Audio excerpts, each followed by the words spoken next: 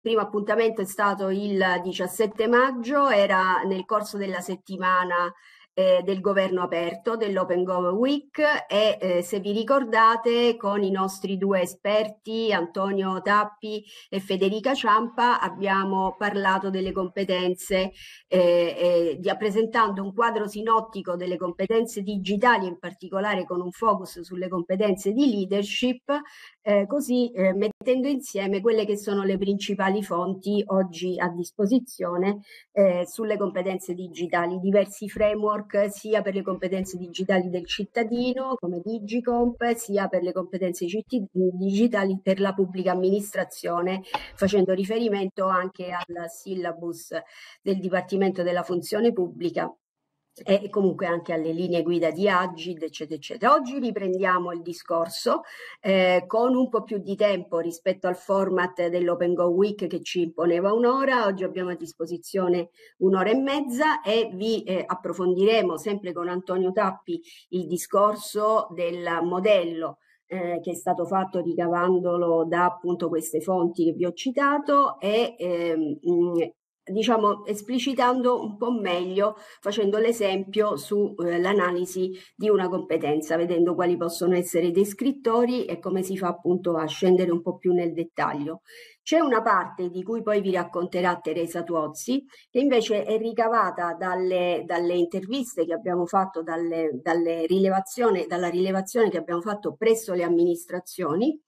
eh, a cui abbiamo chiesto ai responsabili per la transizione digitale e a alcuni referenti dei loro uffici eh, delle informazioni per capire organizzativamente come avevano strutturato il servizio e eh, che tipo appunto di impostazione davano intanto alla, alla formazione. Quindi eh, Teresa vi resoconterà un po' eh, di quegli aspetti lì, mentre io alla fine vi darò un rapido quadro di quelli che sono eh, adesso i eh, progetti di Formez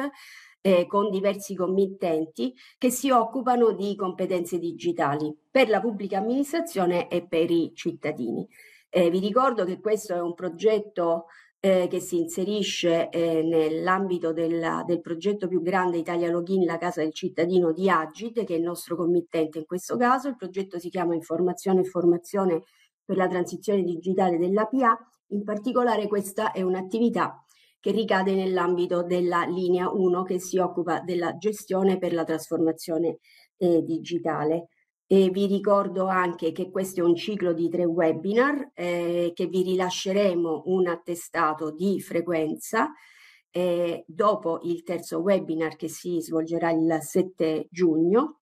Eh, rilasceremo l'attestato chi avrà partecipato almeno a due webinar su tre. Vi anticipo che il 7 giugno, che è il nostro ultimo appuntamento, eh, faremo una una, un incontro con alcune delle amministrazioni che hanno partecipato alla nostra rilevazione. Quindi eh, sarà un webinar che sarà impostato un po' come una tavola rotonda e eh, tratteremo questi argomenti direttamente con le amministrazioni. Allora io do in, subito la parola a Antonio Tappi,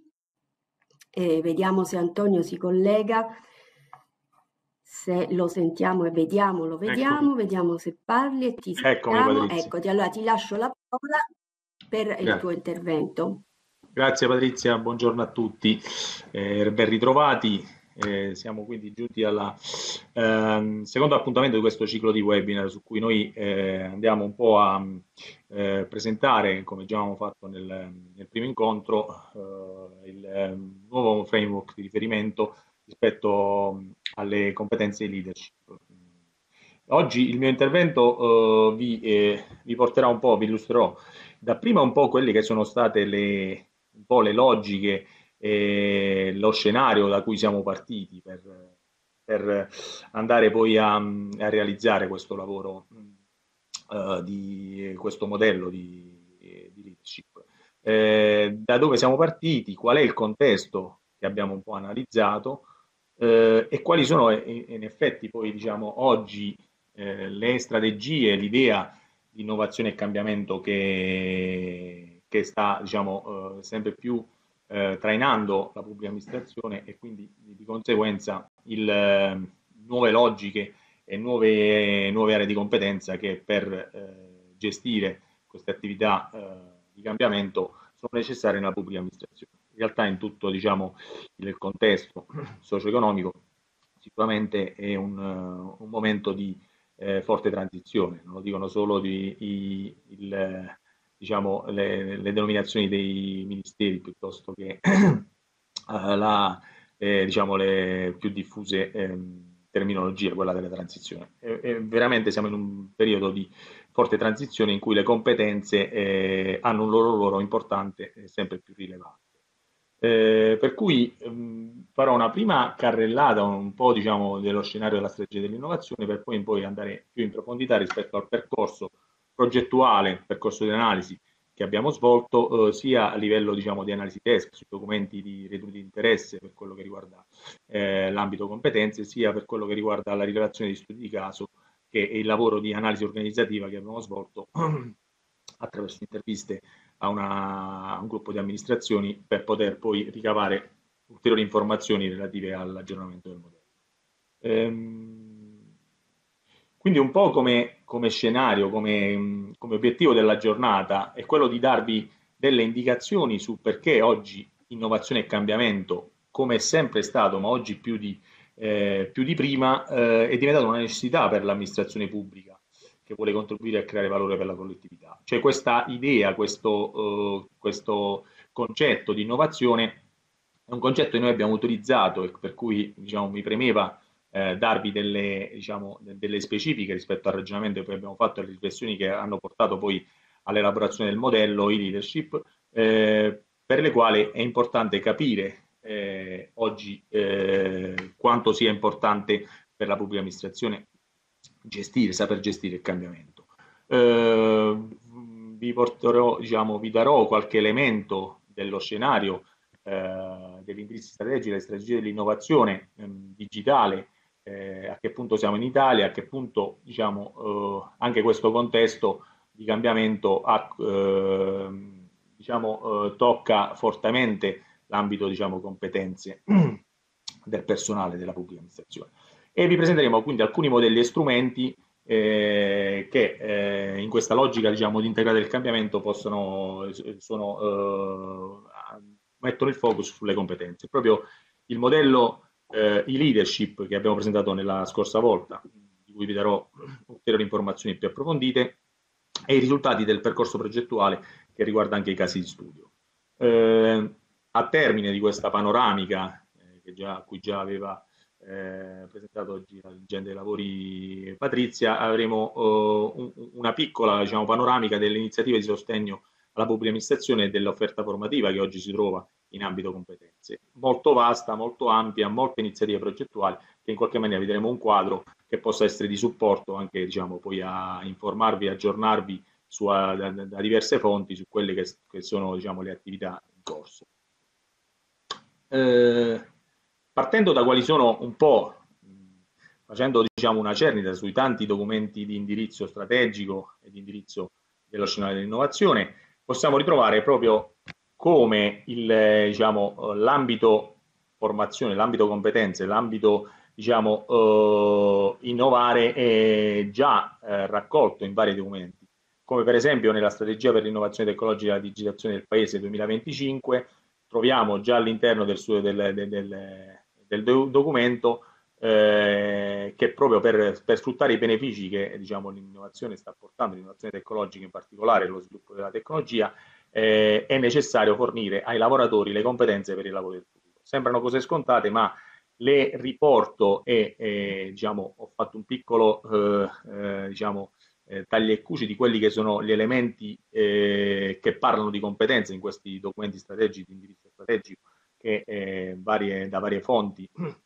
ovviamente governative e istituzionali, eh, andiamo a trovare proprio per darvi un, un, po' il quadro di come se ne sta parlando e già da qualche anno è, è un elemento cruciale delle, delle, iniziative strategiche nel mondo pubblico. Eh, lo ritroviamo anche negli obiettivi del piano Italia Digitale 2026, e cioè ehm, quel piano che accompagna eh, poi tutto il, il, piano di PNRR, il piano nazionale resilienza e ripresa, eh, ripresa e resilienza, eh, in cui anche qui uno degli obiettivi è quello di colmare il gap di competenze digitali con almeno il 70%, quindi ponendo anche degli obiettivi misurabili e specifici. Eh,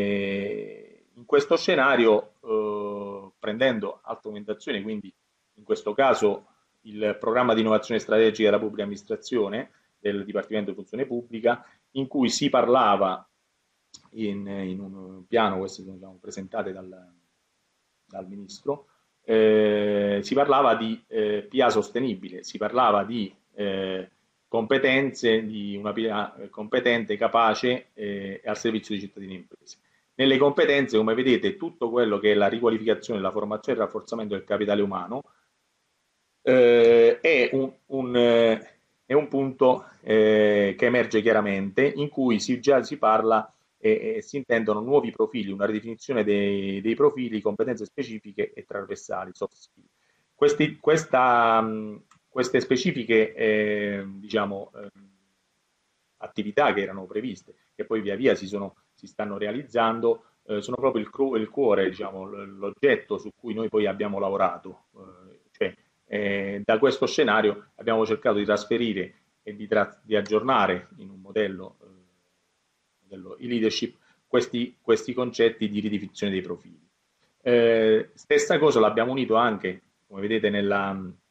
nella rappresentazione di questa slide, di questo piano presentato nel programma di innovazione, eh, l'introduzione di nuovi modelli organizzativi e procedure operative. Anche questo è un ulteriore elemento che noi abbiamo preso in considerazione facendo poi questa attività di ehm, analisi organizzativa. Eh, tutto quello che innovare eh, la pubblica amministrazione vuol dire diciamo, aumentare il livello di competitività, perché anche partendo dal concetto che vi voglio trasferire dell'innovazione, cioè perché innoviamo, perché la pubblica amministrazione de- debba innovare, perché debba innovare le competenze, si trova, diciamo, deve trovare una risposta che non è solo perché eh, esiste la tecnologia o piuttosto perché eh, oggi il mondo cambia. Il mondo cambia. Eh, leggo che qualcuno non sente, non sente, bene, non so se mi sentite, io altrimenti mi tolgo le cuffie. Eh, non so se il resto dei partecipanti, si vedevo un partecipante no, che no, scrive in sente, chat. Si sente. Si sente? Ok, ok. Sente, vai tranquillo, sì. Vado avanti. Ehm, sempre nell'ambito diciamo, di questa, diciamo, eh, questi specifici documenti eh, presentati nel corso degli ultimi anni, eh, rivediamo anche eh, come gli interventi di formazione del personale, della rigenza, di tutto quello che riguarda la riforma eh, del capitale umano, eh, quindi degli interventi di riforma sul capitale umano, eh, a, a, troviamo incremento dell'efficacia e dell'efficienza formativa per il personale della pubblica amministrazione, che sicuramente diciamo, è un'attività che è in svolgimento per grandi, mm, uh, su, varie, su, su, varie, linee, su varie tematiche, e, e eh, diciamo, posto un po' l'accento sullo sviluppo delle competenze manageriali e su eh, l'agente diciamo, proattivo nella gestione del cambiamento, cioè pubblica amministrazione, dirigenza pubblica in questo caso, ma piuttosto insomma comunque personale eh, che fa parte della pubblica amministrazione, deve diventare sempre di più un agente che eh, faccia da promotore nella gestione del cambiamento. È un po' qui la logica su cui noi mh, eh, poi ehm, andiamo a, a, a, modulare il lavoro eh, di riflessione, il lavoro di analisi che ci ha portato poi al modello. Eh, quello insomma di, una, eh, di vedere una figura che sia capace di gestire il cambiamento in tutte le sue fasi. Ehm, quindi un'ulteriore diciamo, eh, dimostrazione che nella, nel programma di innovazione strategica della pubblica amministrazione anche questo già emerge chiaramente. L'altro ambito che un po' abbiamo tenuto in considerazione e che anche questo ritroviamo nel programma di innovazione strategica della pubblica amministrazione eh, è quello dell'innovazione organizzativa. Ovviamente eh, tutta la modernizzazione e l'efficientamento della pubblica amministrazione italiana che passa da eh, sia nuove modalità di lavoro, quindi tutto quello che ha a che fare con oggi, eh, con la messa a sistema del lavoro agile, piuttosto che da attività di reingegnerizzazione dei processi eh, e ovviamente di un aggiornamento, del, dei, un aggiornamento dell'offerta di servizi per la pubblica amministrazione, perché attraverso una modernizzazione io riesco eh, come pubblica amministrazione a modernizzare, a accelerare, a migliorare e rendere più efficienti i miei servizi offerti al cittadino e alle imprese. Quindi, come vedete, da una parte interventi sul capitale umano, dall'altra parte interventi che vadano a eh, migliorare, innovare eh, gli aspetti eh, gestionali e amministrativi in termini di realizzazione dei processi. Eh, queste due anime le ritroviamo eh, poi nel nostro, nel nostro modello. Sempre per darvi invece poi un'idea di come poi si sta muovendo eh, anche eh, dal punto di vista un po' del futuro ehm, l'innovazione di interventi. Questo diciamo lo conoscete tutti immagino, eh, parliamo del PNRR che oggi ormai è all'ordine del giorno, ci sono una serie di, eh, ovviamente, diciamo, di fonti e di, eh, e di seminari, insomma eh, attività di aggiornamento che potete comunque svolgere su questo tema. Io qui ho eh, semplicemente riportato, sempre inerentemente al discorso, eh, al discorso che stavamo, stavamo, facendo, quelli che sono gli interventi in termini di digitalizzazione della pubblica amministrazione. E quali sono? Eh, è una missione, la missione 1, eh, parla di digitalizzazione, innovazione e competitività, eh, di 40 miliardi di euro, in cui la, la, parte 9 miliardi e 7, come vedete, eh, sono relativi alla digitalizzazione, innovazione e sicurezza nella pubblica amministrazione. Qui dentro si troveranno poi nelle varie attività, nei vari avvisi del PNRR, si troveranno tutte le attività di riforma in ambito digitale. Considerate che il 27% delle risorse sono destinate alla transizione digitale, noi abbiamo a che fare sicuramente con eh, quello che riguarda il cambio, diciamo, nuove competenze da, diciamo, da, da acquisire, nuove aree, nuove conoscenze, abilità e, eh,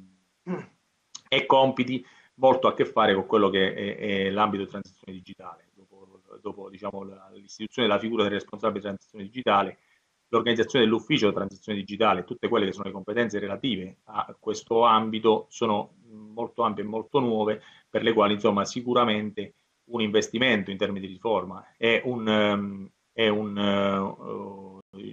diciamo, e, e interventi eh, specifici saranno oggetto prossimi, nel prossimo periodo sicuramente di interventi abbastanza corposi. Ehm, anche qui nell'intervento di riforma del PNRR si parlava di eh, grande investimento sul capitale umano, si parla, si parlava nella strategia di innovazione del PNRR è l'emissione di nuove competenze e reingegnerizzazione dei processi organizzativi per favorire la transizione digitale. Proprio questo, emissione di nuove competenze e reingegnerizzazione dei processi organizzativi è l'obiettivo del progetto su cui stiamo lavorando e del lavoro in progress eh, di cui il modello è un primo risultato, il modello di leadership è un primo risultato eh, e eh, afferisce proprio un po' questa, a, a, queste dinamiche, queste dinamiche strategiche, dove, eh, dove stiamo oh, stiamo andando, la direzione dove stiamo andando tutti. Come vedete nelle riforme eh, la PAG digitale ha un, eh, uno specifico eh, riferimento al capitale umano e alle competenze e alla digitalizzazione. Sono due aspetti che eh, vanno di pari passo e che sono sempre più eh, oggi oggetto di attenzione da parte delle, delle istituzioni, delle, delle, delle, delle strategie eh, che afferiscono a, questo, a questi percorsi. Eh, però tutto questo è lo scenario strategico su cui stiamo muovendo e sicuramente l'impegno che è, è, stato preso e che tutta l'amministrazione pubblica dovrà accogliere come sfida. Eh, dall'altra parte, se vediamo i dati eh, relativi un po' alla digitalizzazione del paese, dell'Italia, questo è un report annuale eh, della Commissione europea, il DESI, il Digital European Social Index, eh, che probabilmente conoscete tutti, mh, mm, che vi ho riportato come dato di, diciamo, di partenza, perché ovviamente anche le politiche di innovazione, tutto quello che è eh, necessario diciamo, fare, investire, devono partire poi dai dati, eh, tra i vari dati di valutazione di innovazione, di digitalizzazione, quello del DESI è uno dei quelli più ehm, diciamo, riconosciuti a livello europeo e che comunque mette in, in, ehm, a confronto tutti i Paesi membri e per il quale insomma eh, diciamo, l'Italia deve sempre dare un occhio. Se qui vedete nel report complessivo l'Italia non è eh, sicuramente nei primi posti, ha acquisito qualche posizione in più rispetto allo scorso anno, alla rilevazione del, 2000, eh, del 2020, eh, però insomma si posiziona ancora eh, un po' in ritardo rispetto al resto del, del, paese, anche sotto la media dell'Unione Europea che vedete rappresentata eh, un po' qui al centro. Le, eh, i, i, vari colori dell'istogramma rap, qui rappresentato eh, sono delle diverse dimensioni che sono valutate e che sono, veri, sono diciamo, poi oggetto della rilevazione del report, del report annuale della Commissione Europea eh, e nelle varie, eh, diciamo, nel, nelle varie dimensioni eh, su cui viene calcolato quest'indice, sicuramente lo vedete da qui, ma lo vedete meglio da quest'altra slide che ho preparato, la dimensione del capitale umano, quindi tutto ciò che, ehm, che afferisce all'ambito, all'ambito delle, delle competenze del capitale umano e della formazione e eh, vedete l'Italia si posiziona al terzo ultimo posto, quindi è molto indietro rispetto a quello che, che qui eh, eh, viene diciamo, eh, rappresentato come competenze digitali. Quindi tutto quello che afferisce un po' alle competenze digitali per il paese Italia è indietro anche rispetto alla media, diciamo, del, al, al risultato complessivo del DESI che colloca l'Italia a una posizione più avanzata rispetto a quella rispetto alla dimensione del capitale umano e questa dimensione su cui l'Italia è sicuramente più indietro e dovrà eh, intervenire in maniera diciamo molto, molto più eh, concreta e forte proprio per, per migliorare mh, questo indicatore per migliorare poi gli aspetti che vanno ad accrescere le competenze digitali e vanno a crescere quindi la competitività del paese nei confronti del resto del, dei paesi dei paesi che si portano avanti. Come vedete i paesi diciamo, principali sono eh, diciamo, i soliti Finlandia, la Svezia, l'Olanda, la Danimarca che sono sempre molto più avanzati in quest'ambito delle competenze digitali, poi un po' per cultura, un po' per investimenti fatti. Sicuramente l'Italia deve eh, migliorare, eh, crescere sia le competenze digitali dei cittadini sia quelle dei personale della pubblica amministrazione e sicuramente quindi in questo scenario eh, è un lavoro in, in progress molto, diciamo, eh, molto importante e molto approfondito eh, che dovrà essere sviluppato in questi. Ci sono le risorse, come avete, eh, abbiamo visto, ci sono sicuramente eh, indicazioni di, strategiche di governo eh, per cui, per cui sicuramente su questo si potrà e si dovrà intervenire. Tutto questo per arrivare, a, a, diciamo, a, a, arrivare al punto in cui oggi ci troviamo in questa epoca, cioè il perché del cambiamento viene da tutto questo insieme di... Da una parte c'è una strategia che ci porta a cambiare, a migliorare, a, avanzare in termini di competenze, eh, dall'altra parte c'è la necessità di innovare la pubblica amministrazione in termini organizzativi, di fatto di eh, introduzione della tecnologia eh, in maniera eh, favorevole e adeguata. E tutto questo eh, quindi viene riportato da tutto quello che sono un po' l'input al cambiamento e l'input poi a quello che è quello che è necessario oggi fare, perché stiamo, siamo di fronte a un quadro istituzionale normativo in forte cambiamento, siamo di fronte a una crisi sociale, una crisi economica dovuta alla pandemia di questi ultimi anni, eh, eh, dei ruoli dei media sempre più eh, di, eh, eh, che intervengono insomma anche sulle prospettive eh, della pubblica amministrazione,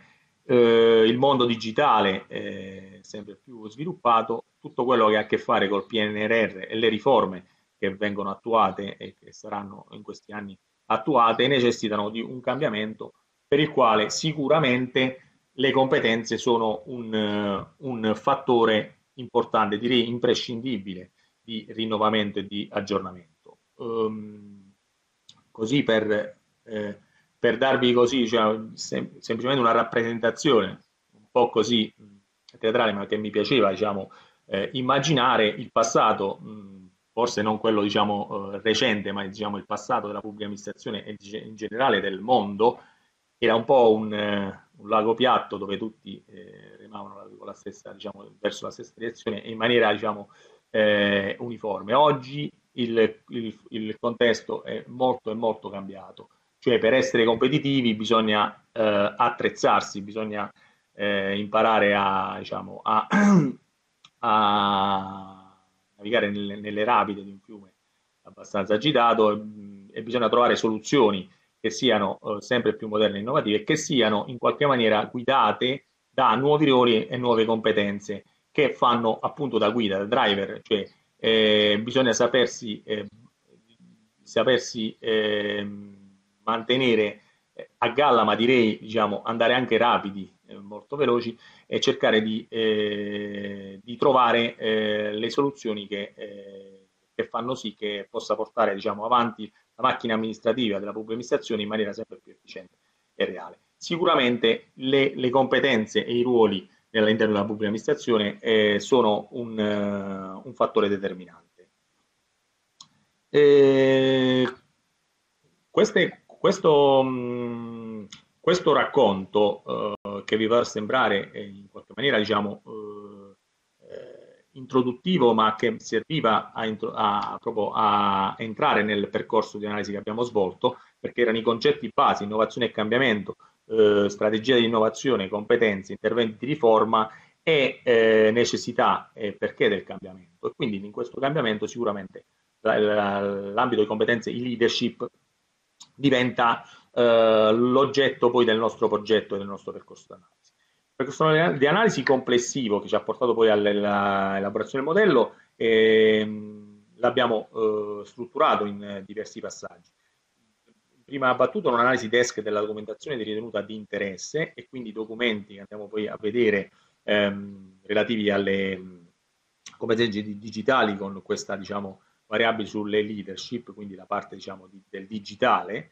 eh, da cui poi è emerso un primo quadro sinottico, eh, per poi approfondirlo attraverso un'intervista interviste organizzative, casi di studio, un'analisi casi di studio, in cui abbiamo acquisito dei primi elementi per poi andare a, a rimodellare e a varie release successive andremo a consolidare via via il modello, eh, il percorso di analisi. Il progetto a cui fa riferimento questo lavoro eh, che vi stiamo presentando è quello di informazione e formazione per la transazione digitale dell'APA, eh, Italia Login, la casa del cittadino, che proprio diciamo, ha l'obiettivo appunto di informare e formare nell'ambito della transazione digitale quindi tutti gli strumenti a supporto di questo mh, per favorire la transazione digitale, come può essere il modello di leadership e i casi di studio sono elementi che, eh, che afferiscono al, al, progetto, al percorso progettuale. Eh, nella, nello specifico, eh, l'analisi desk in che cosa è consistita? Questo già l'abbiamo visto la scorsa volta, ma eh, mi prendo a sottolineare anche a, a, beneficio di chi non avesse, non avesse potuto partecipare al, al primo incontro eh, di apertura. Eh, abbiamo messo insieme in una logica di aggiornamento, di focus aggiornato, eh, tutti i contenuti che ci, di, vari, di varia documentazione che, se, che sembrava inerente diciamo, all'oggetto del lavoro. Eh, abbiamo cercato eh, di acquisire tutti quelli che erano gli elementi peculiari, un po' di interesse, di, raccordo, eh, per offrire anche una lettura comparata di sintesi, in modo tale da sviluppare poi dei nuovi contenuti in tema, in tema di leadership eh, per poi produrre un documento finale eh, con proposte descritture di nuove competenze. Quindi sostanzialmente noi eh, che cosa abbiamo fatto? Abbiamo avuto, diciamo, mh, abbiamo pensato a mettere insieme e a cercare di fare una lettura comparata di alcuni, alcuni documenti. I documenti oggetto di analisi sono questi che probabilmente tutti conoscete che hanno una loro, diciamo, eh, logica, un loro focus e alcune caratteristiche di ogni modello di questi documenti eh, un po' diverso l'uno dall'altro, eh, che anche in una logica di sistematizzazione dei contenuti, perché abbiamo veramente tanti documenti ufficiali e che si siano, diciamo, che si siano occupati di competenze, di competenze digitali e di, eh, di leadership,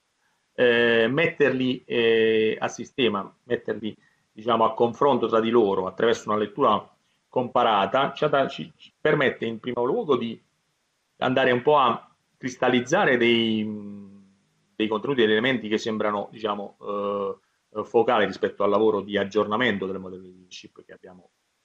avevamo diciamo, in mente, dall'altra parte anche eh, fare un po' d'ordine sui vari documenti, perché eh, siamo spesso abituati, un po' tutti, lavorando nell'ambito della pubblica amministrazione, ad avere documenti, linee guida eh, vari, eh, che però magari, diciamo, se riusciamo a eh, intercettare in maniera trasversale ci possono aiutare poi a, a cogliere degli aspetti che normalmente non riusciamo, non riusciamo a cogliere. Eh, I documenti sono il, syllabus delle competenze digitali per la PA della funzione pubblica, che è un set, diciamo, fornisce un set di competenze minime per i dipendenti pubblici, eh, il DigiComp, eh, che è il quadro di, di competenze per le,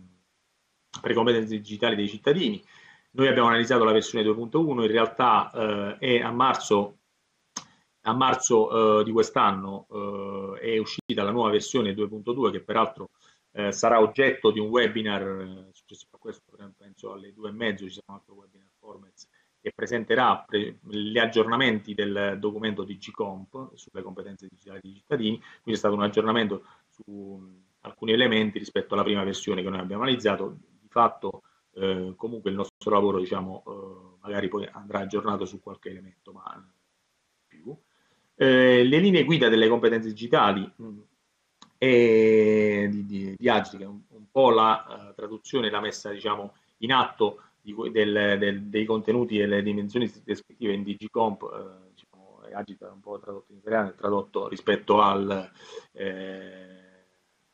ad alcuni elementi eh, che erano emersi. Eh, e poi due, due, documenti finali abbastanza nuovi, eh, lo sviluppo delle competenze di leadership nel settore pubblico, che è un rapporto dell'Ocse, eh, che già evidenzia alcuni aspetti, noi poi ci è sembrati diciamo, comunque sia aggiornare un po' il mondo, eh, diciamo, eh, il mondo, i, i descrittori di competenze del digitale, infatti vengono introdotti già alcuni ruoli chiave, si parla di ruoli chiave digital manager, eh, gestori non digitali, eh, gestori non digitali, quindi alcune denominazioni che sono diverse dai precedenti documenti analizzati, e poi la norma UNI di 11814, che è una norma, quindi dell'ente di normazione italiano pubblicata a maggio, che, eh, che eh, stabilisce un po', eh, fa un focus sulle figure professionali operanti nel campo, nel campo eh, della gestione dell'innovazione. Quindi stabilisce alcuni requisiti di base per chi eh, in ambito pubblico o privato con le figure professionali che gestiscono l'ambito dell'innovazione. Questa um, analisi che appunto ha, ha riguardato questi documenti eh, ha, eh, ci ha permesso poi di, eh, di, andare a cogliere quelli che erano gli aspetti più eh, prettamente innovativi, diciamo di attualità, che sembravano rispetto a tutto lo scenario eh, che ho presentato all'inizio, ci sembravano sicuramente eh, peculiari per questo, diciamo, per questo lavoro, per, per l'introduzione di questo nuovo framework.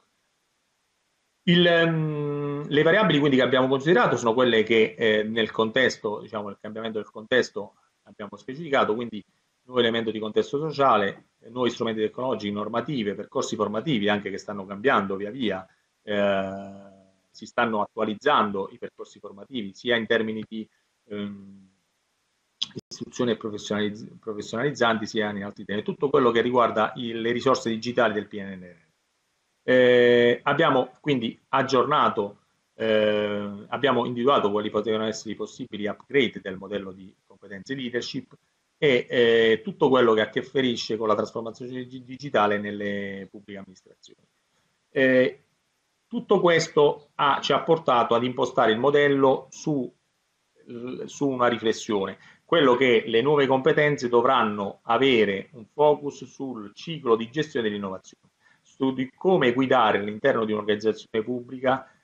come gestire tutto quello che è un processo di innovazione. Processo di innovazione inteso come un vero e proprio processo, come un processo amministrativo, processo di innovazione è gestito a tut cur in una logica di eh, ciclo di miglioramento continuo di gestione. Questo è il concetto base su cui lo studio, l'analisi approfondita dei documenti, eh, il confronto anche sull'aggiornamento dei documenti, come soprattutto gli ultimi norma UNI e il, il rapporto OXE, abbiamo, eh, emergevano nella, nel nostro studio e nell'analisi, ci ha portato a ragionare su un modello di leadership che si basi sul ciclo di gestione e di innovazione. Le, quindi abbiamo inserito nuove competenze, abbiamo fatto una riclassificazione di base e da questa raccolta di elementi abbiamo tirato fuori la nuova macro classificazione di competenze che si compone di cinque ambiti gestione dell'ibrido, guida dell'innovazione, gestire l'innovazione e valutare l'innovazione e eh, abbiamo un po' aggiornato il profilo proprio rispetto a un discorso di, eh, eh, diciamo di approfondimento, di attenzione eh, più a eh, quelle che sono le competenze manageriali trasversali, diciamo così, del pubblico e non, diciamo, chiamati così, manageriali digitali, cioè non ci siamo soffermati sugli aspetti tecnici, di cui peraltro esistono norme, esistono altre linee guida specifiche sui profili ICT, chiamiamoli così, e su cui già è stato fatto un lavoro anche eh, specifico, eh, direi tecnico, eh, e ci siamo più soffermati su, su quelli che sono eh, le skill del, diciamo, del manager di innovazione. Questo è il percorso che abbiamo svolto, vado rapidamente, perché fondamentalmente diciamo, è quello che vi ho raccontato, quindi sia la parte di analisi di desk sia la parte di analisi dei casi, eh, ci ha portato a questo nuovo modello in cui vengono definite nuove competenze di leadership e vengono individuati dei nuovi profili, tutto intorno a questo discorso di gestire, cercare di favorire una nuova cultura dell'innovazione. Questo ovviamente ha un impatto su tutto quello che è l'ambito poi formativo, di bisogno formativo della pubblica amministrazione e che piano piano eh, su cui la, l'offerta formativa si sta adeguando e si andrà ad adeguare nel corso dei prossimi anni. Questo è il, è il, è il cuore insomma, del, del, modello, dove a queste fasi del ciclo di gestione dell'innovazione, per, per ognuna delle quali è, è rappresentata una macro competenza e a seguito ci sono delle competenze e a seguito di queste delle, eh, dei descrittori di queste competenze in termini di conoscenza, abilità e autonomia ehm,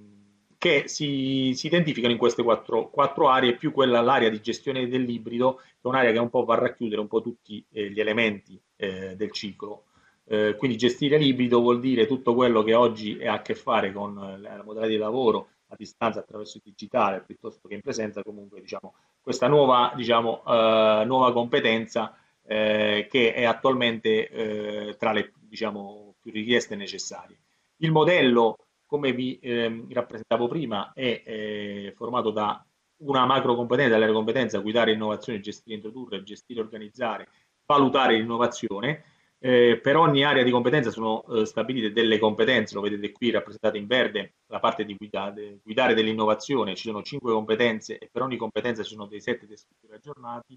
A ognuno di questi sono associati dei profili che vi vado a far vedere. Eh, qualche esempio, vi, vi, mostro questo esempio riguardo alla, alla gestione della valutazione dell'innovazione. Eh, come vedete, quest'area di competenza identificata nel modello, nel framework eh, aggiornato di e-leadership che abbiamo eh, realizzato, ha una serie di competenze, analisi e valutazione dei programmi, valutazione delle politiche pubbliche, consapevolezza e cultura della misurazione, analisi e sintesi per interpretazione di indicatori chiave di prestazioni, a ognuna delle quali è associato una serie di conoscenze e abilità che sono i nostri descrittori, eh, in cui noi andiamo a, a diciamo, un po' a raccogliere appunto e a descrivere in maniera particolare quali sono le competenze. Se vediamo consapevolezza della cultura della misurazione, conoscenza dei metodi e delle metriche di analisi e valutazione, conoscenza delle tecnologie abilitanti e così via. Quindi per ognuna di queste sono state stabilite diciamo, poi del, dei descrittori. Questo vuol dire ovviamente, eh, ve, lo, ve, lo, riporto anche qua, eh, no, in, in, prima battuta vi dico che da quello poi sono, eh, ad ogni competenza è riportato un profilo. Qui vi ho riportato il profilo di manager di innovazione, le figure che abbiamo eh, individuato come profili, che possono essere un po' rimodulate in termini diciamo, di, di terminologia tecnica, ma sono il manager di innovazione, lo specialista di innovazione il tecnico di innovazione, a secondo qual è il livello anche un po' apicale e il livello di intervento all'interno della pubblica amministrazione, eh, di intervento politico-strategico, il manager di innovazione con il quale eh, in qualche maniera ha eh, dei poteri apicali di, di, di gestione nell'ambito della propria amministrazione. Lo specialista è un po' rappresentato dal responsabile di un ufficio che ha un, che ha un, um, che ha un, un livello diciamo uh, leggermente meno uh, manageriale e dirigenziale, ma che comunque ha una posizione diciamo, organizzativa per, per, il, per, la quale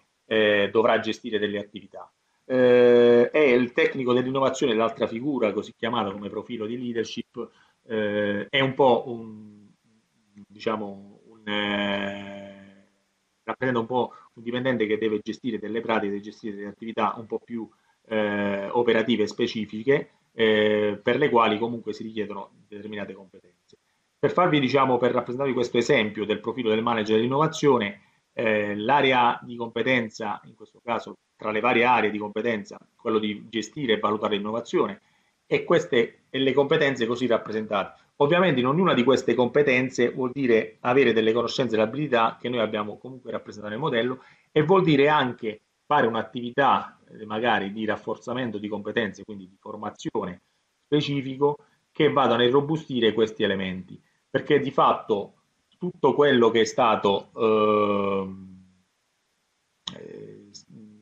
tutto quello che è stato un po' il lavoro che ci ha fatto eh, fare una serie di riflessioni eh, va a, a, a individuare ovviamente quelli che possono essere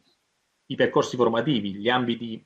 eh, di intervento eh, di formazione. Immaginate, ovviamente tutto l'ambito di formazione è un ulteriore oggetto diciamo, di, eh,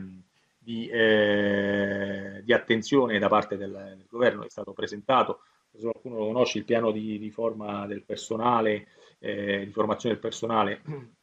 a livello macro eh, dal ministro Brunetta per tutti i dipendenti della pubblica amministrazione. Eh, e ovviamente tra i vari, eh, eh come dice, i vari fabbisogni formativi attraverso un modello di leadership che abbiamo un po' così ehm, composto con queste logiche intorno alle quali si muove un po' la gestione di innovazione non più come un qualcosa sempre visto uh, come un qualcosa di spot. No? L'innovazione è sempre vista nella pubblicazione come qualcosa che l'introduzione di una tecnologia che mi porta a migliorare un qualcosa, ma che finisce lì. In realtà la logica su cui si impronta un po' il modello, le nuove competenze che abbiamo inserito, i nuovi profili, ragionano sulla logica per cui l'innovazione non è più un processo eh, spot che, che ha un inizio e una fine, quello è un progetto di innovazione Qui si parla di un, un, processo vero e proprio come un processo che, che, si inserisce nei processi di lavoro della pubblica amministrazione, quindi gestirlo, saperlo, essere capaci di guidarlo, di gestirlo, di eh, monitorarlo, di valutarlo e di andarlo poi a migliorare, eh, richiede delle competenze nuove. Come in questo esempio in cui nella competenza valutare per l'innovazione l'oggetto, l'area di competenza e consapevolezza della cultura della misurazione, da questo come vedete possono derivare una serie di bisogni e eh, percorsi formativi che sono quelli degli ambiti delle conoscenze che abbiamo stabilito. O intorno a questo, per esempio, conoscenze delle tecnologie abilitanti, strumenti informatici a supporto della realizzazione di sistemi di valutazione, vuol dire produrre un'offerta formativa specifica eh, su, queste, su, questa specifica area di competenza.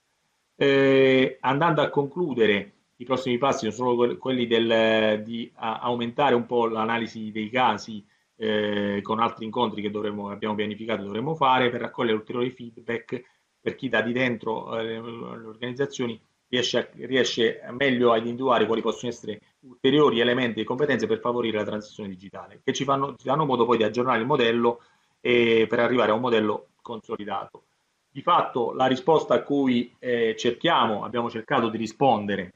eh, in, in questo lavoro e quale figura, eh, quali competenze e quali strumenti abbiamo oggi, eh, eh, abbiamo, di cui abbiamo bisogno per gestire l'innovazione e il cambiamento. Perché di questo poi eh, si tratta, si tratta di saper, di, eh, diciamo, e oggi tutte le amministrazioni hanno preso un po' coscienza del fabbisogno di competenze, anche molte trasversali, per rilasciare un'innovazione di valore. Eh, quindi estendendo un po' questo concetto, innovazione e cambiamento nel suo complesso, e per noi, insomma, rappresentare questo modello di leadership così, di un framework aggiornato, vuol dire un po' pensare a queste competenze moderne. Un po' questo lavoro è un, un lavoro, un dibattito aperto, diciamo, di riflessione per tutti quelli che si occupano di queste tematiche all'interno delle pubbliche amministrazioni e, e che eh, cambia un po' il paradigma da esperienze, competenze un po' tecniche, ma anche quelle diciamo, tutte le varie, mh, nei vari ambiti che però sposta un po' l'attenzione su uh, come, come, saperla gestire questa innovazione e come eh, gestire questo cambiamento. Eh, o, o, diciamo, a questo punto insomma, vi, vi lascio poi eh, così all'approfondimento anche la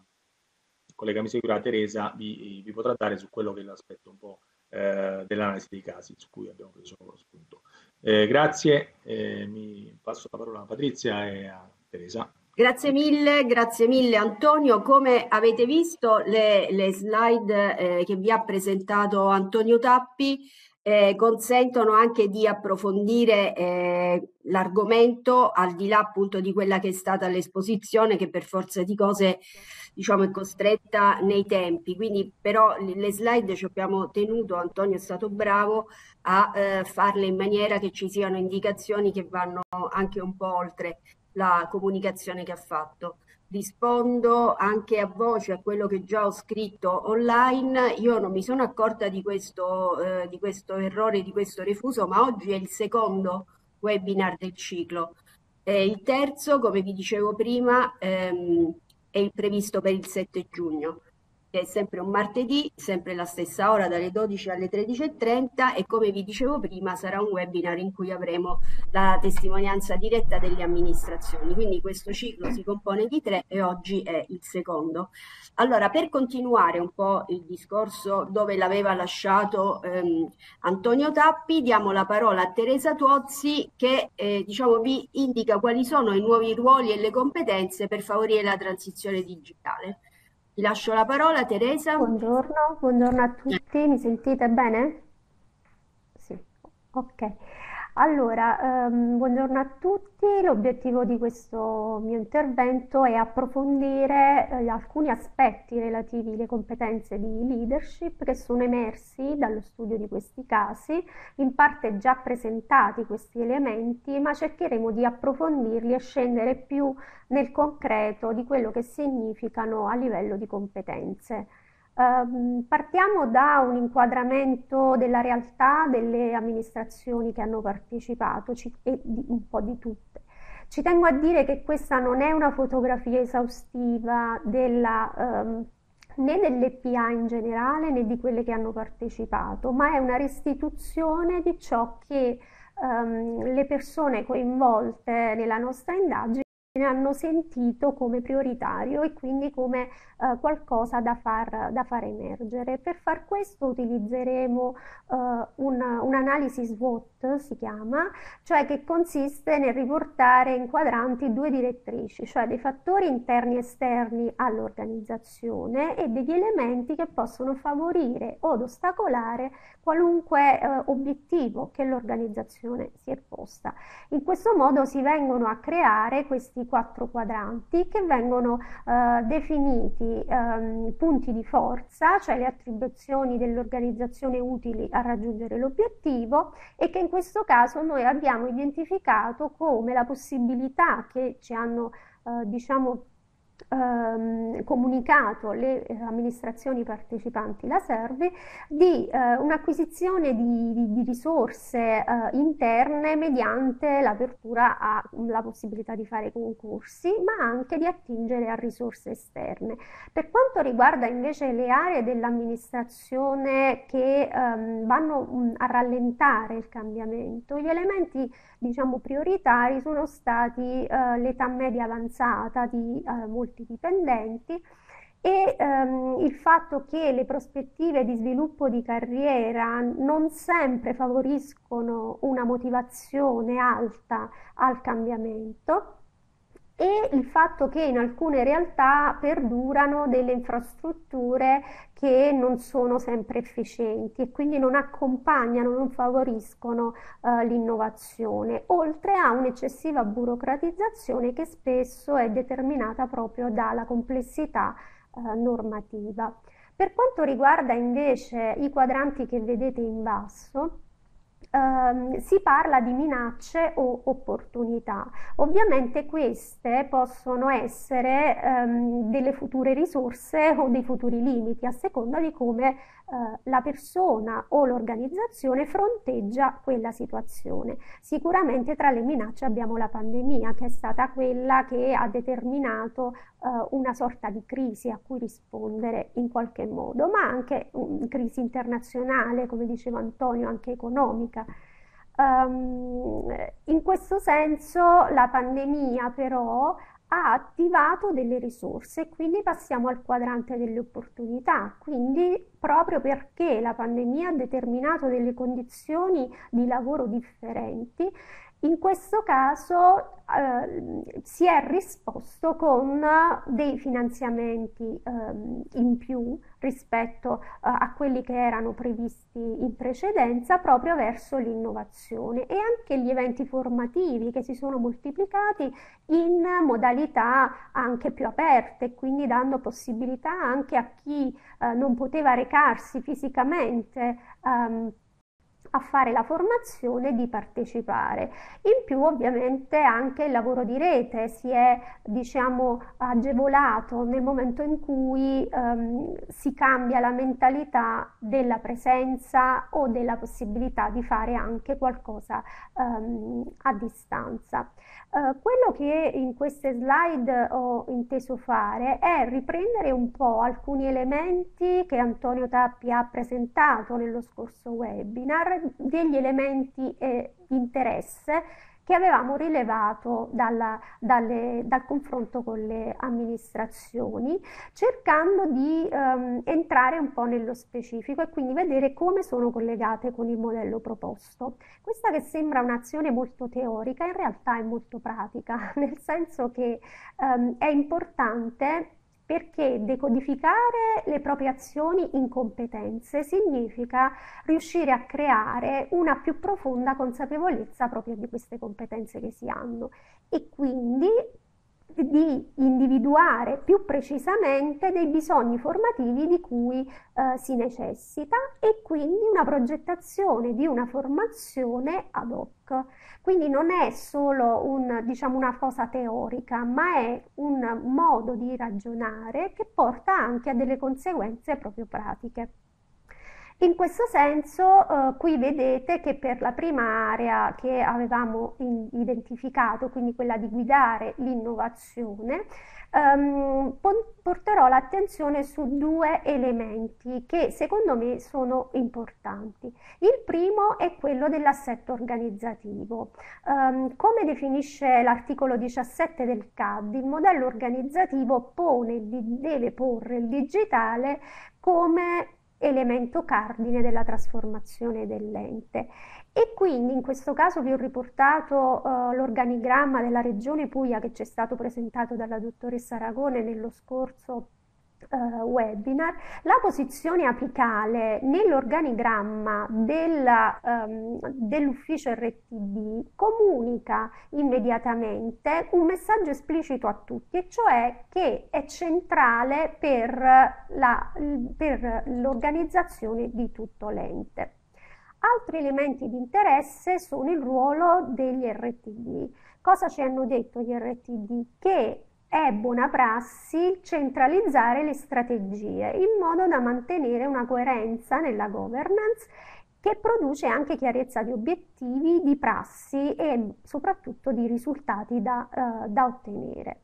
In che modo questi elementi vanno a declinarsi poi nelle competenze? Io vi ho evidenziato all'interno dell'area di competenza guidare innovazione due competenze secondo me fondamentali per quello di cui stiamo parlando, e cioè la prima che è una visione e pianificazione strategica, cioè una capacità di guardare, di immaginare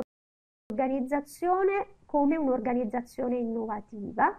e la capacità di condividere obiettivi. Abbiamo avuto voto di apprezzare eh, da alcuni partecipanti esempi mh, veramente eh, esemplari, scusate il gioco di parole, di pianificazione strategica fatta da dei vertici che condividono anche gli obiettivi di cambiamento e questi diventano obiettivi eh, di tutti. Passando invece all'area di gestione dell'innovazione, andiamo a focalizzarci su alcuni di questi punti. In primis l'innovazione digitale, eh, l'innovazione interna all'interno del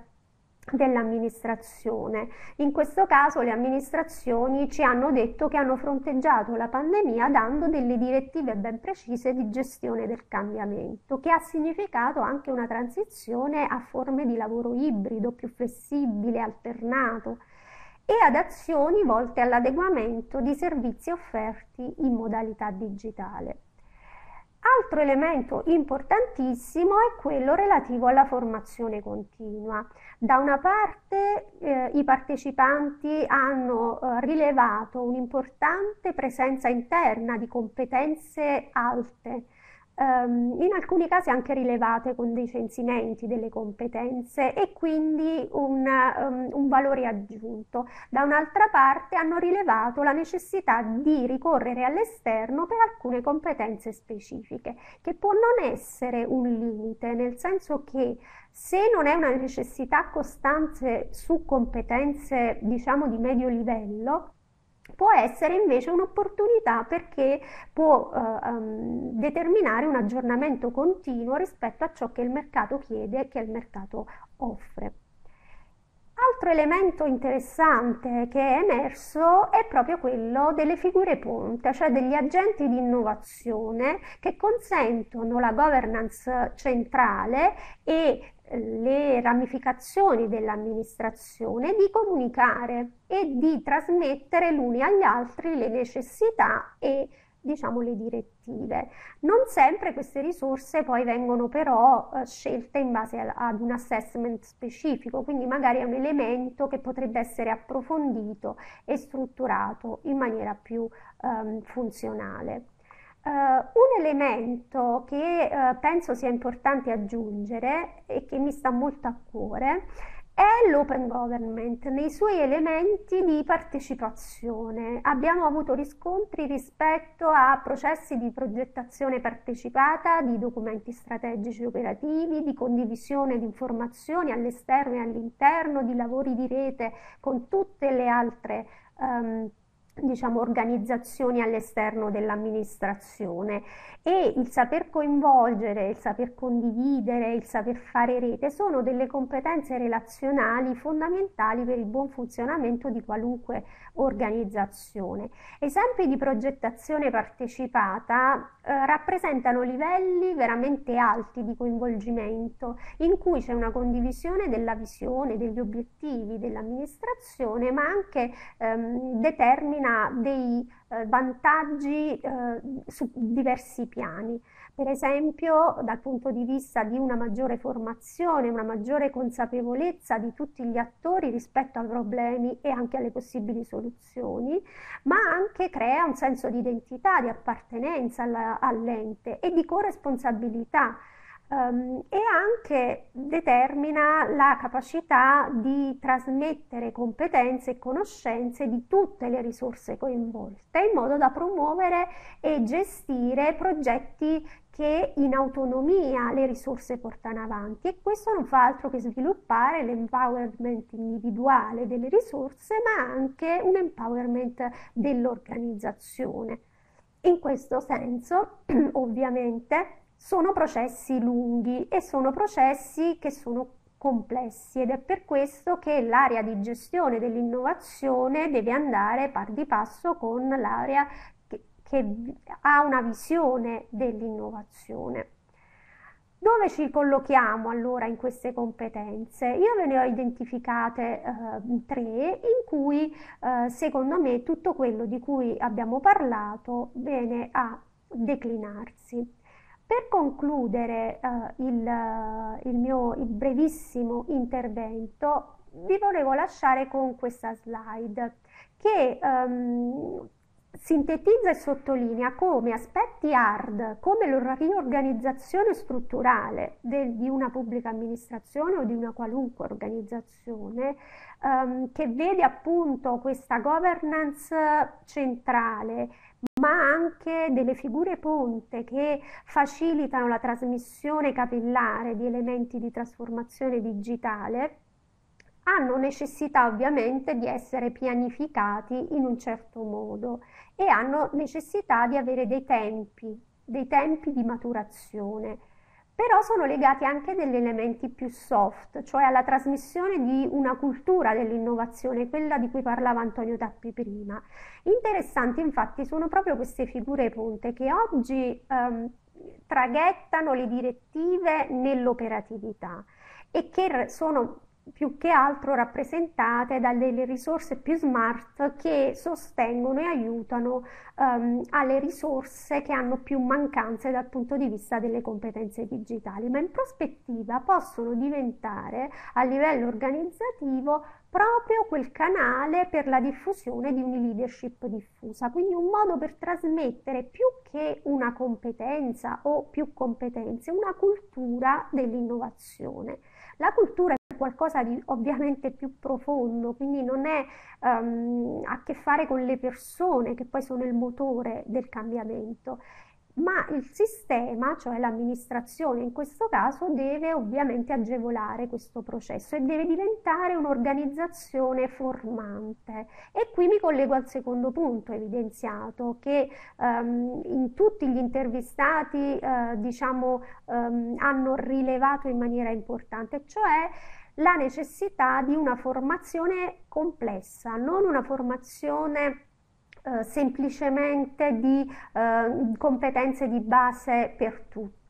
ma una formazione su diverse competenze, anche sulle soft skills, quindi quelle più trasversali, quelle più legate alle relazioni, alla comunicazione, che consentono la messa in campo poi di relazioni professionali funzionali al cambiamento.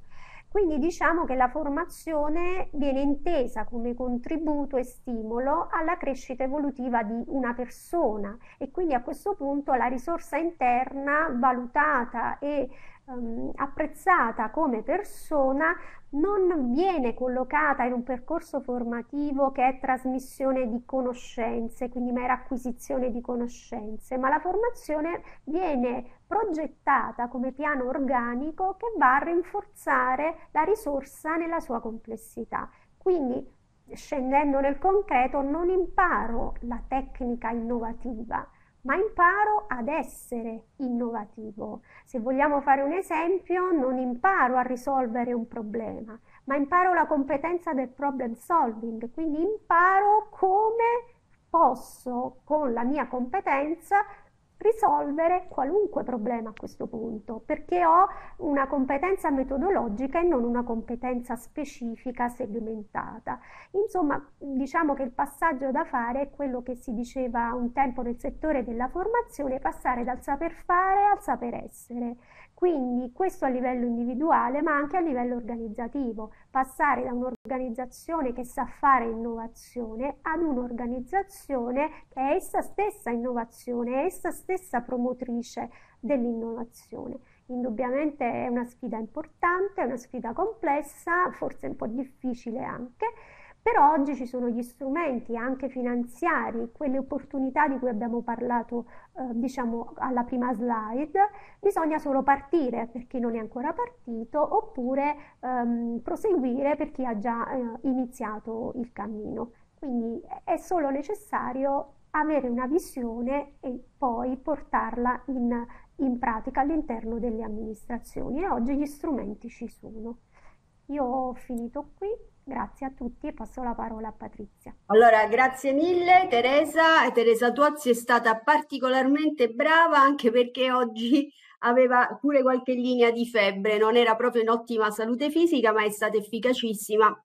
proprio eh, nel ribadire eh, quello che poi appunto diciamo sempre che porta a questo concetto di leadership eh, diffusa che comunque le competenze di base hanno eh, eh, una loro importanza devono eh, possederle tutti i cittadini ma mano a mano appunto che si va verso la promozione della transizione digitale, ci sono altre competenze che devono intervenire e che riguardano appunto un po' eh, tutta la sfera dell'agire eh, operativo eh, dei dipendenti della pubblica amministrazione. Quindi eh, mano a mano appunto vanno affinate e devono essere portate da diciamo competenze per la cittadinanza digitale che sono rivolte a tutte a competenze per chi utilizza il digitale e quindi di base, fino a competenze per chi implementa la trasformazione che cominciano a essere un po' più specifiche e a includere anche quelle soft skill a cui faceva riferimento Teresa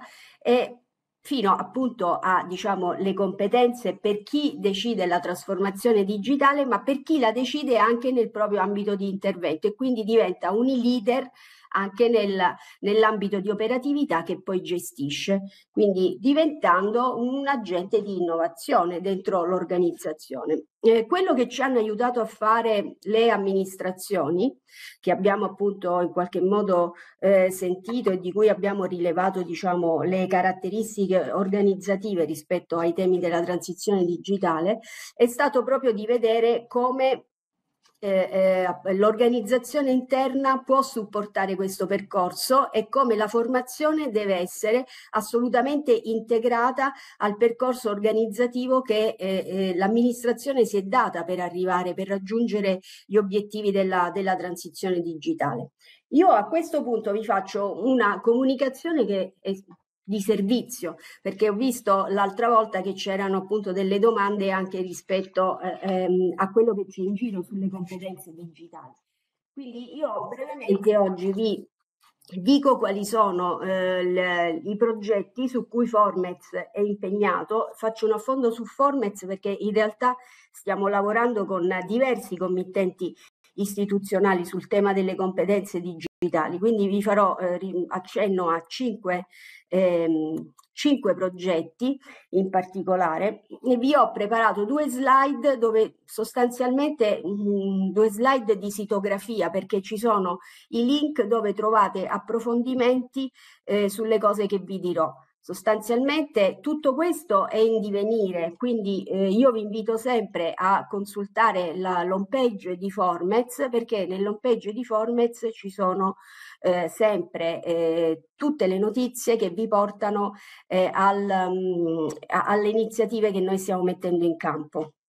A questo proposito, come vedete, sono anche concomitanti perché ho visto in chat qualcuno citava il webinar Valutare le competenze digitali del 7 giugno, che è un webinar che non è nel nostro progetto, ma che sicuramente si occupa di un aspetto anche delle competenze digitali e vi consiglio di partecipare. Il nostro è, mentre quello è alle 14.30, il nostro a mezzogiorno e sarà una tavola rotonda con le amministrazioni, come vi dicevo. A breve troverete anche il programma che stiamo definendo sul, sul sito. Allora, partiamo dal fatto che il Piano Nazionale di Ripresa e di Resilienza chiaramente sostiene che le persone prima che le tecnologie sono il motore del cambiamento e dell'innovazione ed è appunto la linea che noi abbiamo portato avanti in tutta questa parte diciamo di, di ricerca del, de, del progetto sulle competenze digitali. Questo lo vedete chiaramente nel piano strategico per la valorizzazione e lo sviluppo delle competenze dei dipendenti della pubblica amministrazione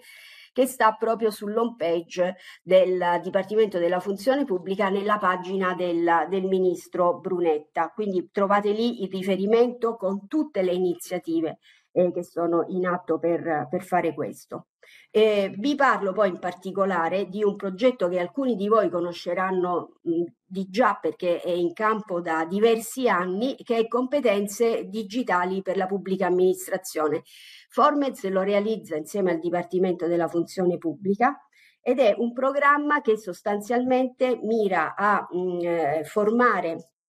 dipendenti pubblici, non specialisti eh, IT, quindi non eh, diciamo informatici, ma a dare una formazione finalizzata in modalità sempre e-learning sulle competenze digitali di base, con la particolarità che queste competenze digitali di base sono per il dipendente della pubblica amministrazione. Come sapete, eh, su questo è stato costruito un framework di riferimento che in qualche modo si rifà al framework europeo che è il Digicomp, che riguarda eh, le competenze dei cittadini, le competenze digitali di tutti i cittadini. Allora, invece il syllabus così è stato chiamato, eh, riguarda le competenze digitali, in particolare dei dipendenti della PA. Anche se ci sono tre livelli nel definire queste, queste competenze, che sono appunto di base, intermedio e avanzato, sono prevalentemente competenze di base che riguardano gli ambiti di lavoro appunto dei dipendenti pubblici.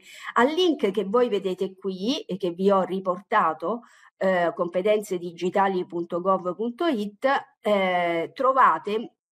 trovate il programma che si basa appunto su, sui tre elementi fondamentali. La descrizione del syllabus che vi dice quali sono le macro aree di competenza, sono cinque, non ve le sto a descrivere perché appunto ve le andate a vedere direttamente sul sito. C'è una piattaforma online attraverso il quale un dipendente pubblico, se la propria amministrazione ha aderito all'iniziativa, può eh, eh, accedere eh, facendo un assessment rispetto appunto, quindi una valutazione delle competenze possedute per attraverso appunto delle domande che riguardano queste cinque macro aree che vi dicevo,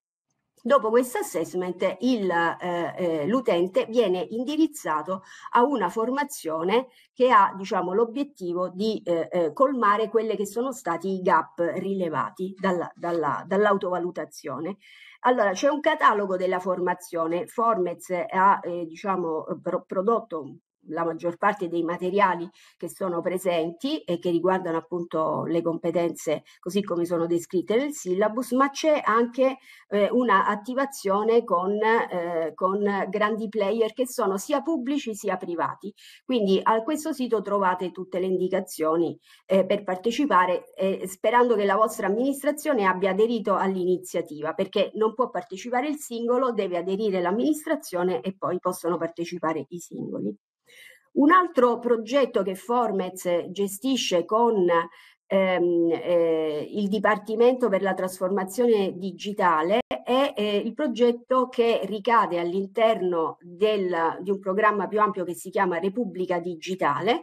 eh, e che si chiama Accedi, quindi un ambiente per una cittadinanza consapevole attraverso l'educazione digitale. Questo è l'acronimo, diciamo, eh, eh, scorporato e ehm, eh, attraverso, attraverso eh, questa piattaforma che è rivolta a tutti i cittadini eh, potete vedere che si promuovono le competenze digitali, eh, come dicevamo prima, che fanno riferimento al framework europeo che è il Digicomp, che appunto riguarda le competenze digitali di tutti i cittadini. Eh, vi ho messo anche il link ehm, di eh, un, premio che è stato organizzato all'interno del progetto Accedi, eh, sono state premiate eh, so, delle iniziative eh, presentate da ehm, alcune eh, da privati sostanzialmente. Quindi eh, no, c'erano anche delle amministrazioni, c'era la Regione Veneto, insomma da privati e da pubblica amministrazione, eh, perché così appunto potete vedere anche un po' quello che si muove non solo nel panorama diciamo più complessivo nazionale eh, di rapporto con, con, ministeri e dipartimenti, ma anche localmente. Eh, questo premio eh, eh, ha, pre, diciamo, ha favorito, e in questo caso era sul digitale inclusivo e digitale contro il divario di di genere, però se andate a vedere appunto i link che vi ho indicato potete farvi eh, un'idea. Eh, un altro progetto che vi vorrei segnalare è quello che eh, si sta facendo con, aspettate che vado avanti, la slide successiva, col Dipartimento per la trasformazione digitale il Dipartimento per le politiche giovanili, in particolare il Servizio Civile Universale. Si chiama Progetto Scudi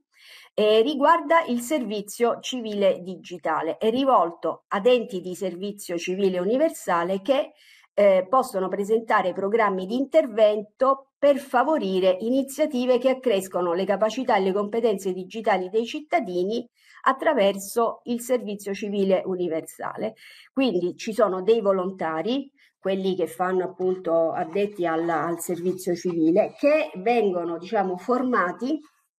proprio per educare eh, alle competenze digitali una buona parte diciamo, di eh, popolazione, quelli a cui possono, possono rivolgersi. Qui eh, trovate il link a un webinar che noi abbiamo eh, realizzato eh, il 25 febbraio scorso e che ha appunto eh, in cui potete vedere più o meno come si dipana il progetto che è in una fase iniziale, quindi questo lo potete seguire eh, dall'inizio e eh, diciamo sarà, troverà la sua fase diciamo matura nel momento in cui verranno appunto valorizzate le, ehm, le competenze dei, dei, dei, volontari che le riverseranno appunto poi su progetti per diffondere le competenze digitali a favore appunto dei cittadini. Eh, l'altro progetto che vi cito è naturalmente questo, quello su cui stiamo realizzando questa iniziativa, perché all'interno della nostra linea 1, quindi questo progetto lo stiamo realizzando con Agid, eh, che è il nostro committente che ha un programma diciamo più ampio che si chiama Italia Login nella casa del cittadino, di cui vi ricorderete iniziative eh, simili già negli anni passati. Questo programma è stato rifinanziato, rinnovato, ha dato vita appunto a questo progetto e all'interno della linea 1, ma non soltanto, parliamo di competenze digitali. All'interno della linea 2 e 3 si parla appunto di eh, gestione documentale e si parla di eh, open data e quindi eh, diciamo questo progetto eh, in, in, particolare eh, realizza, eh, realizza ehm, attività per favorire gli RTD, in qualche modo per i responsabili della transizione al digitale e, e anche diciamo nella, nella, loro messa in rete, perché appunto ci sono eh, esempi di community, eccetera, eccetera. Quindi eh, che stanno, stanno, in fase di, di definizione. Ehm, eh, vi ho eh, detto più o meno tutto. C'è un altro progetto che vi voglio citare che non ho riportato qui perché trovate tutte le informazioni sul sito che è stato da poco rinnovato, che è quello di Open Government, cioè è il progetto eh, che eh, ha realizzato l'iniziativa eh, in cui siamo ricaduti diciamo la scorsa settimana quella dell'Open Gov Week, che è un progetto che favorisce il metodo del governo aperto. Lo realizza il Dipartimento della Funzione Pubblica insieme a Formez, è un progetto che ha di particolare proprio quello di esplorare le dimensioni dell'accountability, della partecipazione, della integrità e della trasparenza del, che fanno appunto un governo aperto. È un progetto che eh, ehm, si realizza non solo nel contesto italiano, ma appunto si avvale del supporto di una rete che è europea ma anche internazionale, che appunto è la rete e il forum del, dell'open government e eh, ehm, all'interno del quale naturalmente ci sono altre iniziative che riguardano eh, il miglioramento dei servizi digitali, digitali che riguardano appunto, eh, eh, saranno dei corsi online, dei MOOC che verranno rilasciati. Quindi come vedete noi siamo fortemente impegnati come direzione eh, innovazione digitale eh, eh, dentro il Formez a portare avanti queste linee tematiche eh, che da sempre, e oserei dire, seguiamo, siamo stati, io insomma mi vanto anche un po' di questa cosa, siamo stati i primi a realizzare un corso online sulle leadership, tra l'altro eh, eh, portando avanti questo concetto della leadership diffusa perché è una cosa a cui noi crediamo, nel senso che eh, non soltanto chi ha responsabilità apicali può trasformare in senso innovativo il contesto di lavoro, ma pensiamo che appunto con in un'ottica di, eh, ehm, di inclusione eh, ehm, digitale, di inclusione innovativa, tutti possano dare un contributo. E appunto in quel corso online del 2015 sostenevamo proprio, proprio questo, come, come continuiamo a fare e come appunto eh, poi in qualche modo sosteniamo in tutte le attività. Questo è un concetto che ci orienta molto nelle attività che facciamo. Ehm, allora, io ehm, avrei finito, non so se ci sono delle domande, vedo che qualche domanda c'è. Eh, su questo vi rimando sempre al sito del, del Formez. Vi ricordo che appunto c'è il nostro ultimo appuntamento il 7 giugno e eh, vediamo se ci sono le domande sì. e a chi allora, sono rivolte. Provo a rispondere io una prima eh, osservazione Uh, cioè la relazione tra il manager di innovazione e il responsabile di transizione digitale che ci chiede un collega. Uh, di fatto, allora c'è un primo, un, un, primo assunto di base che ovviamente il responsabile di transizione digitale, avendo delle responsabilità e avendo, dovendo gestire eh, all'interno della propria amministrazione una serie di eh, attività di elementi che appunto diciamo poi vengono eh, individuati dalla norma, ovviamente ha un suo uh, percorso in cui molte delle competenze che noi abbiamo riportato nel profilo manager di innovazione sono sicuramente diciamo uh, sono sicuramente insomma affini a quello che è la responsabilità. La differenza un po' sostanziale che eh, io diciamo così eh, mi sento insomma di, eh, di, di poter attenzionare è che intanto voglio dire noi usciamo e si cerca di uscire da gli adempimenti da norma rispetto a quelle che sono le competenze effettivamente eh, necessarie o, o, perlomeno diciamo in questo framework che noi stiamo, a, abbiamo elaborato eh, ci sembravano necessarie, cioè quello di cercare di eh, proprio diciamo tranciare questo aspetto eh, norma adempimento rispetto a competenza e, e reali necessità all'interno dell'amministrazione. L'abbiamo rilevato anche dai casi di studio nell'intervento di mh, di Teresa, eh, cioè gli elementi diciamo, che sono parsi, sono diciamo, emersi, sono molti anche che vanno al di là uh, dell'accoglimento rispetto a delle dinamiche eh, che vengono suggerite dalla norma. No? Eh, ed è proprio un po' questo, cercare di ragionare eh, più in termini di, eh, di, diciamo, di quello che all'interno dell'amministrazione eh, si sta, uh, sta, cambiando e come lo riesco a seguire, con quali competenze, con quali conoscenze e con quali abilità. Quindi in qualche maniera ovviamente si, il manager dell'innovazione di profilo e il responsabile della gestione digitale si parlano, sono, si identificano abbastanza per molte delle competenze che abbiamo riportato nel, nel, modello, ma non sono sicuramente tutte o comunque possono essere, diciamo, magari quegli elementi che ci, ci vanno a rafforzare eh, ancora di più il modello perché possono emergere da l'esperienza all'interno dell'amministrazione delle, delle responsabili.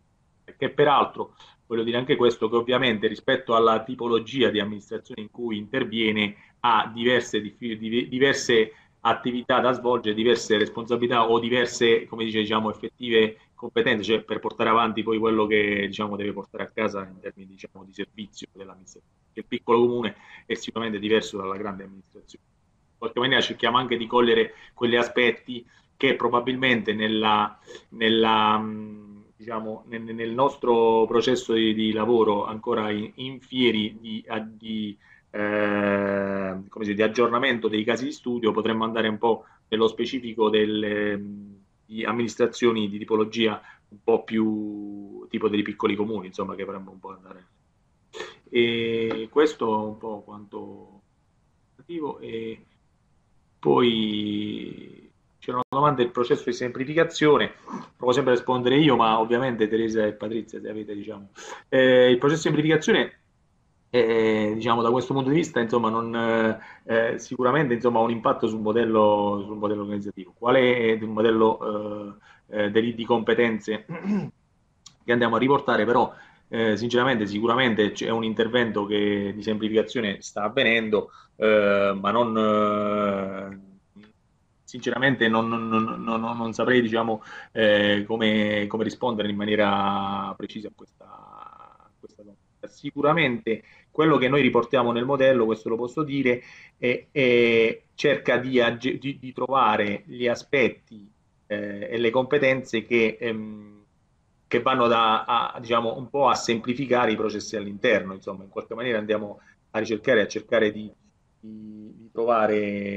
eh, necessità che vanno a semplificare gli aspetti proprio organizzativi per poter far fluire in effetti i processi di innovazione all'interno della situazione. Eh,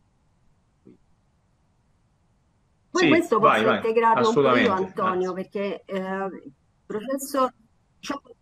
sulla semplificazione si continua ad andare avanti nei progetti almeno eh, del Formez e del Dipartimento della Funzione Pubblica, perché eh, una cosa è la semplificazione amministrativa che riguarda appunto la semplificazione di tutti quelli che sono i eh, procedimenti amministrativi eh, che fanno capo poi ai diversi livelli delle amministrazioni. Su quello vedete ci sono anche dei progetti in corso se guardate, il, se guardate la pagina di, di Formez. All'interno di questo progetto c'è stata una, una linea, all'interno della linea 1 per esempio, che ha eh, eh, lavorato con un consulente storico che lavora su questo e che insieme ad Agid ha messo appunto, ha semplificato la modulistica eh, nazionale, quindi andando verso dei moduli unici condivisi da tutte le amministrazioni, eh, lavorando insieme a quelli che sono gli enti terzi ogni volta coinvolti nei processi autorizzatori. Quindi dentro questo progetto c'è stato anche un piccolo filone che ha lavorato sulla semplificazione, che è normativa, burocratica e che naturalmente eh, diciamo, l'innovazione digitale dovrebbe favorire eh, ulteriormente. Quindi eh, su questo trovate, trovate, anche appunto delle indicazioni su, sul sito di Formez e, e, e stiamo, andando, stiamo andando avanti. Si va avanti lentamente. Eh, perché eh, semplificare non è semplice, quindi sembra Sembra una banalità, però siamo ancora ai moduli unici nazionali, perché non ci sono, perché usciamo da una situazione in cui già la modulistica era diversa in ogni eh, amministrazione. Quindi eh, eh, fare questo percorso ha implicato diciamo, un coinvolgimento diretto del Dipartimento della Funzione Pubblica con progetti precedenti e questa cosa è ancora in corso. Naturalmente il digitale può dare una eh, mano eh, molto importante in questo e quindi diciamo, anche sviluppare le competenze naturalmente favorisce, competenze digitali favorisce tutto il processo di semplificazione in atto. Eh, allora, i piccoli comuni, c'è un problema nel trovare le competenze per RTT. Eh, certo, come c'è problema per trovare diciamo, competenze per tutte quelle che sono figure specifiche, quindi diciamo, per i piccoli comuni quello che noi diciamo, ma già dai tempi in cui appunto c'era il responsabile dello sportello unico, poi c'è stato il responsabile per la prevenzione eh, della corruzione, eccetera, eccetera, quello che diciamo ovviamente eh, in, in queste situazioni è che la soluzione dovrebbe essere organizzativa, cioè ci dovrebbe essere eh, eh, l'unione di comuni che poi eh, la, l'associazione dei comuni, l'unione dei comuni che in qualche modo eh, gestisce eh, queste figure eh, per un numero più numeroso di, di, di, amministrazioni e anche per appunto un numero più cospicuo di cittadini devono, a cui queste amministrazioni devono, devono rispondere. Anche su questo c'è un progetto Piccoli Comuni che è in fase di eh, progettazione esecutiva adesso a Formez, ma come vedete appunto eh, eh, anche su questo ci sono notizie sulla pagina, eh, sull'home page del, del nostro sito. Non so, scusa, Teresa, andando avanti con le ehm, altre c'è una riflessione di Salvina Sollena o Sollena, non so, mi scuso se ho sbagliato a dirlo, ehm, che dice nonostante da anni nella scuola media sia obbligatorio adottare libri di matematica che comprendono l'asset informatico per competenze digitali, i docenti nel 95% dei casi non fanno neanche aprire tali tomi, non sono in grado di affrontare l'argomento seppur a livello base. Bisognerebbe dunque pensare alla formazione dei formatori. Allora, su questo mh, mm, mi sento di dire che eh, quello di cui abbiamo parlato prima, ehm, cioè del dover integrare la parte di vision, la parte di strategia con la parte operativa di chi poi gestisce quell'innovazione è fondamentale. È per questo che i processi di creazione di eh, strategie condivise e di eh, diciamo, condivisione anche degli obiettivi in modo partecipato rende le risorse anche più pronte a utilizzare degli strumenti, perché io posso dare degli strumenti innovativi, ma se la persona che li deve utilizzare non condivide neanche l'obiettivo di innovazione, ovviamente farà fatica e quindi porterà avanti le competenze che ha utilizzato finora. Ed è proprio per questo che, come nella pubblica amministrazione, come in un comune, anche la scuola è un'organizzazione ed è un'organizzazione che ha una, un punto, un vertice strategico e poi ha delle ramificazioni, cioè i diversi istituti. E anche lì c'è una piramide, c'è chi dirige la scuola e poi ci sono le risorse, quelle più a contatto con l'utenza, con i bambini, con i ragazzi. Ed è proprio questa, diciamo, integrazione di chi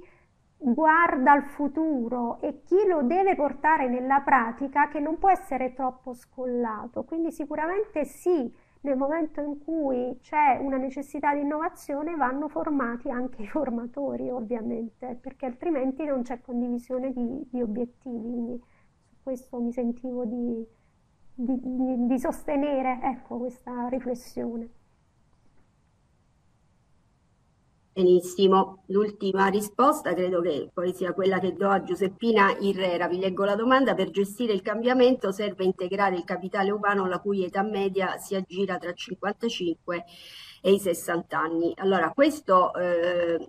Giuseppina sta avvenendo perché appunto eh, eh, Formez stesso che organizza con RIPAM, no? con questa nostra struttura RIPAM, eh, molti dei concorsi che sta organizzando la pubblica amministrazione proprio per eh, mettere in atto questo cambiamento generazionale e quindi è un, un processo eh, che si è avviato. Eh, l'altra cosa su cui però vi voglio, eh, insomma, vi voglio far riflettere è che ehm, questa fascia d'età che indicate appunto 55-60 anni non è proprio una fascia da buttare via, eh, perché eh, è, tanto perché ci ricado io e quindi mi sento anche un po' così, ma non è una fascia da buttare via perché è quella che ha la maggiore conoscenza dentro l'amministrazione di quelli che sono eh, ehm, i, i, percorsi, i procedimenti, le regole, le procedure eh, e quindi io vi segnalo su questo un processo, un, un progetto molto diciamo, eh, interessante e innovativo che aveva portato avanti la provincia autonoma di Trento, eh, in cui la responsabile di risorse umane aveva eh, gestito eh, eh, la, l'arrivo di nuove risorse, giovani risorse sicuramente diciamo, più um, di più favorevoli al digitale, quindi con una cultura digitale più eh, avanzata, aveva diciamo, favorito uno scambio eh, che riguardava appunto questa parte per i giovani con eh, eh le persone diciamo, più eh, adulte dentro l'amministrazione che però conoscevano appunto eh, tutte quelle che erano le procedure amministrative, che conoscevano appunto eh, eh quelli che sono i, i percorsi eh, eh, attraverso tutta l'amministrazione che devono fare i procedimenti e quindi diciamo sapevano gestire anche il risultato verso l'utente favorire questo scambio tra generazioni, quindi chi ha conoscenza e competenza rispetto all'amministrazione e chi ha eh, invece più eh, dimestichezza con il digitale, sicuramente si è rivelato, almeno nella provincia autonoma di Trento, che sicuramente è un contesto molto limitato anche numericamente, in cui è facile che le cose riescano, eh, a, comunque lì era stato diciamo, un, un esperimento di successo. Quindi non, andrebbe sfruttata anche quella, quella, diciamo, quelle caratteristiche andrebbero in qualche modo valorizzate. Allora, non so se ci sono altre domande, se non le vedo io, se mi sono sfuggite. È vero, si stanno facendo molti concorsi, ma i metodi di reclutamento e soprattutto le competenze richieste non hanno nulla di innovativo, sono come 40 anni fa con una prova quasi eventuale di inglese e di informatica. Però io vedo che ci sono anche altre cose che stanno organizzando, diciamo, anche i nostri colleghi di RIPAM, che non sono, diciamo, limitati a questi, a questi due aspetti, perché, diciamo, anche mm, mm, è questo eh, aspetto delle soft skill a cui facevamo riferimento eh, ha fatto in qualche modo negli ultimi tempi eh, favorire una, una, una, riflessione su quelle che sono le competenze trasversali che servono anche a completamento di quelle competenze diciamo più specialistiche, più di contesto che serve avere nella pubblica amministrazione. L'affiancamento è quello, Salvina Solle, è proprio quello che dicevo appunto nel, anche nel, nel progetto di, della provincia autonoma di Trento. In realtà è stato un affiancamento ai giovani che non sono stati semplicemente affiancati, ma che in cambio hanno diciamo, ripagato l'affiancamento con eh, una, una, versatilità più su quel, sull'uso degli strumenti digitali e, e, quindi che è stata diciamo, indirizzata verso le persone un po' più adulte dentro l'amministrazione. Eh, allora, mi pare che siamo anche un po' fuori tempo, quindi io chiuderei qui il webinar, sono appunto mm, eh, molto contenta che abbia destato il vostro interesse. Oggi avete partecipato numerosi perché a un certo punto eravate più di 500, quindi vi ringrazio tantissimo per la partecipazione. Vi rimando al 7 giugno dalle 12 alle 13.30 e ehm, eh, metteremo il programma della tavola rotonda. Eh, eh, tavola rotonda sarà più un focus group che faremo appunto con queste amministrazioni che sono quelle che in qualche modo hanno risposto anche alla, alla nostra indagine di cui oggi avete avuto i risultati. Sarà per voi interessante vedere come stanno portando avanti eh, questi processi di cui vi abbiamo parlato. Vi ricordo oggi pomeriggio eh, alle due e mezza ci dovrebbe essere un webinar che trovate sempre segnalato su Eventi PA che eh, fa riferimento all'aggiornamento del Digicomp, cioè al framework delle competenze digitali elaborato a livello europeo per tutti i cittadini, perché mentre noi qui abbiamo utilizzato la versione 2.1, e, e mentre lavoravamo è uscita la 2.2 e come vi diceva già Antonio Tappi nella sua esposizione, oggi pomeriggio questo webinar esplorerà i cambiamenti. Si è un po' arricchito anche di esempi nella parte dei descrittori. Secondo me appunto se vi ha interessato questo webinar vi interesserà anche, anche l'altro. Eh, vi ringrazio e vi do appuntamento allora al Grazie a tutti. Grazie, Grazie a tutti.